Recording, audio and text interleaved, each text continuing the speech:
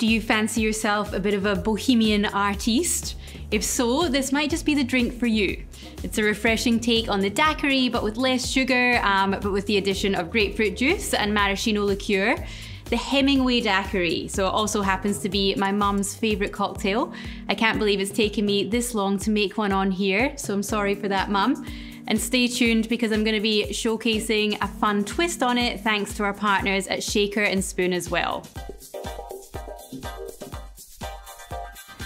Whether Hemingway himself would actually enjoy the modern iteration of the Hemingway daiquiri is certainly up for debate. And actually, whether we should hold him up as any kind of arbiter of taste is as well, because the man may have been a literary genius, but he seems to have been much more concerned with the alcohol content of his drinks than with the flavour.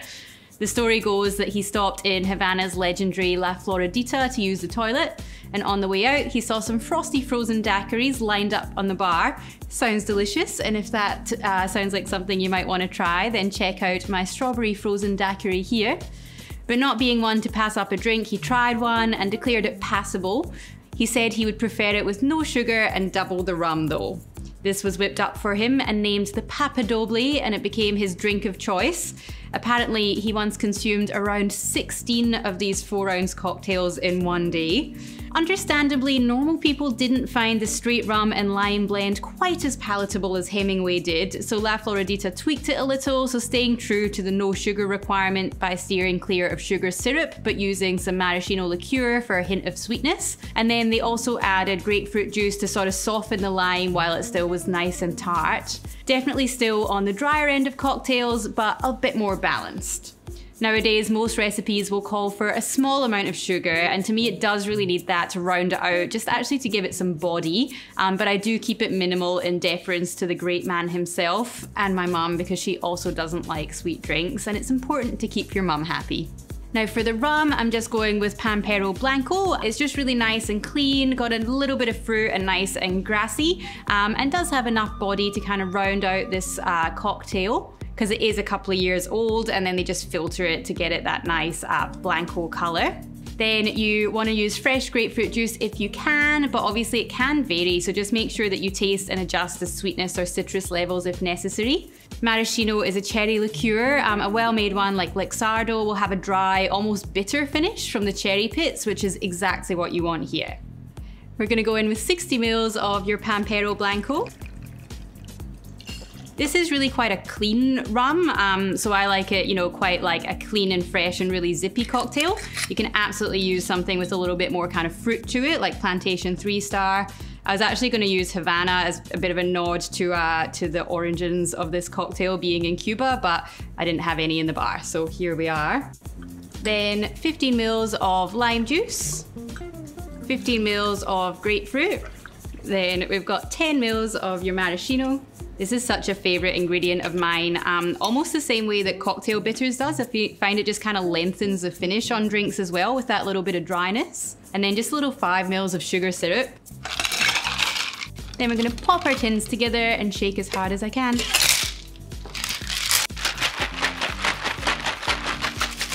Now, this is one that is really important to taste because grapefruit varies so much, sort of depending um, on the season and just which one you use. Sometimes it will be really, really sour and sometimes a little bit sweeter.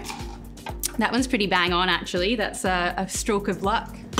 Then grab a little glass out from the fridge or the freezer. This one's a little added extra, but I just like to do just a little bit of peel over the top, um, just to kind of get that aromatics and stuff going up to your nose. And then you can just get rid of that and your actual garnish is a little cherry. How refreshing does that look?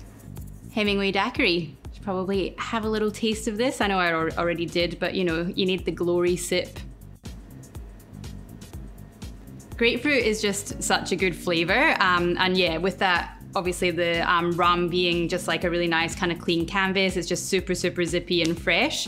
I can definitely see why Hemingway managed to drink so many, not that I recommend it, because uh, I think that would go down far too quickly on a hot day. So this one's for you, Mum.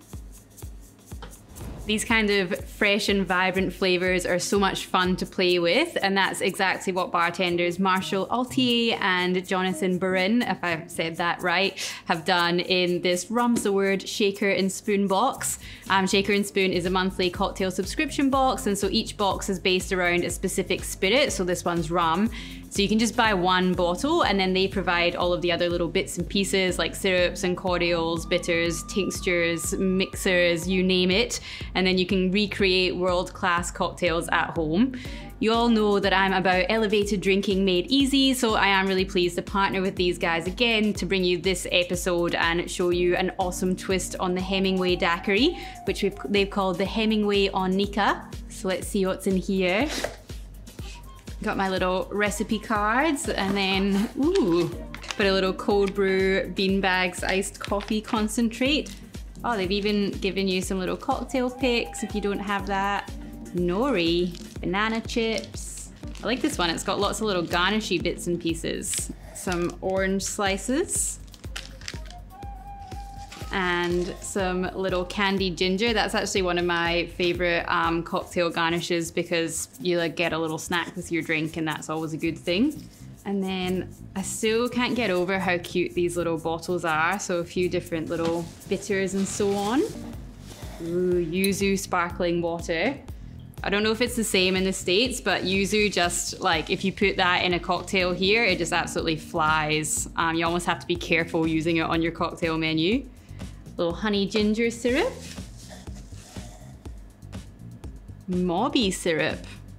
I've never heard of that before. It kind of sounds similar to um, like to a falernum. So you've got ginger root, lime zest, cinnamon sticks, allspice berries. This is what I mean. It's like cool stuff that you might not even think of. Then we've got a coconut water and a little grapefruit syrup, man. Yes, I'm done. This one I'm gonna do kind of sticking with the theme of the episode, the Hemingway on Nikka. Um, and the main kind of flavor, I suppose, going in there. So you've got the grapefruit syrup, which is mimicking the grapefruit that's in the classic Hemingway, um, but it's also using naranja agria or naranja, I suppose. I don't know. I'm not Spanish. As I did French at school. Okay, don't make fun of me.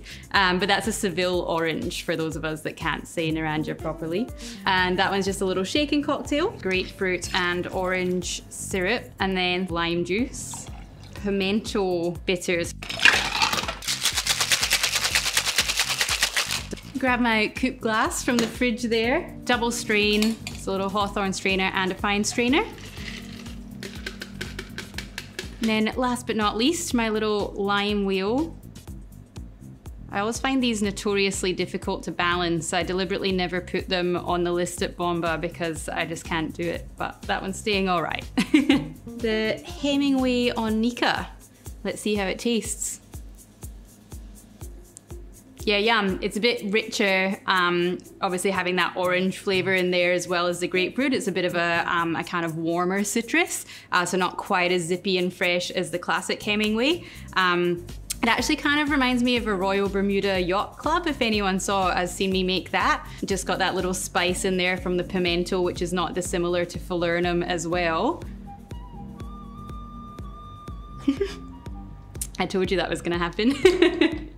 So if you would like to sit back at home and have these kinds of delicious cocktail ingredients delivered to your door every month without you having to put any effort in at all, then click the link below and use code BTB with Cara at the checkout. Um, or you can go to shakerandspoon.com forward slash BTB with Cara and that'll get you $20 off your first box to give it a try. So the Hemingway daiquiri and a delicious twist on it. So now you know.